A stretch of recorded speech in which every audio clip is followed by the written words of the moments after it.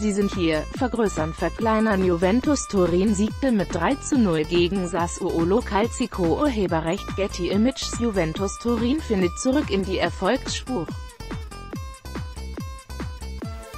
Beim souveränen Sieg gegen Sassuolo Calcico glänzen die deutschen Legionäre Sami Khedira und Emre Can.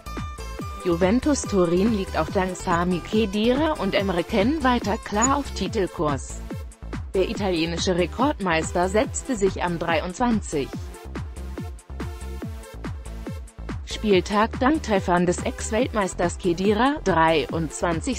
von Superstar Cristiano Ronaldo, 70. und des eingewechselten Ken, 86. mit 3 zu 0, 1 zu 0, bei US Sassuolo Calcico durch und führt die Serie A mit 11 Punkten Vorsprung auf den SSC Neapel an. Der Tabellenzweite musste sich am Samstag mit einem 0 zu 0 beim AC Florenz begnügen. Während Kedira 67 Minuten zum Einsatz kam, wurde Emre Can kurz vor seinem Tor in der 85. Minute eingewechselt.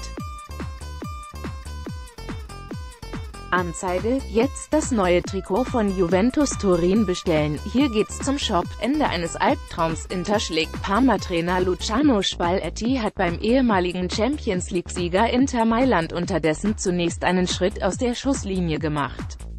Nach vier Pflichtspielen ohne Sieg gewann Inter 1 zu 0 bei Parma Calcico und festigte Platz 3. Die Krise ist zu Ende.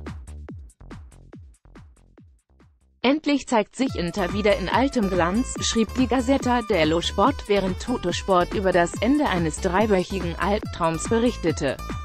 Anzeige, internationaler Fußball live bei DAZN, jetzt gratis Monat starten, Spalletti kann erst einmal durchatmen.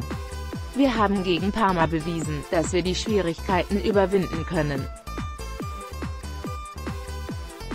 Jetzt heißt es dieses Resultat zu konsolidieren, sagte der 59-Jährige. Zuletzt war darüber spekuliert worden, dass Spalletti durch Ex-Chelsea-Coach Antonio Conte ersetzt werden könnte.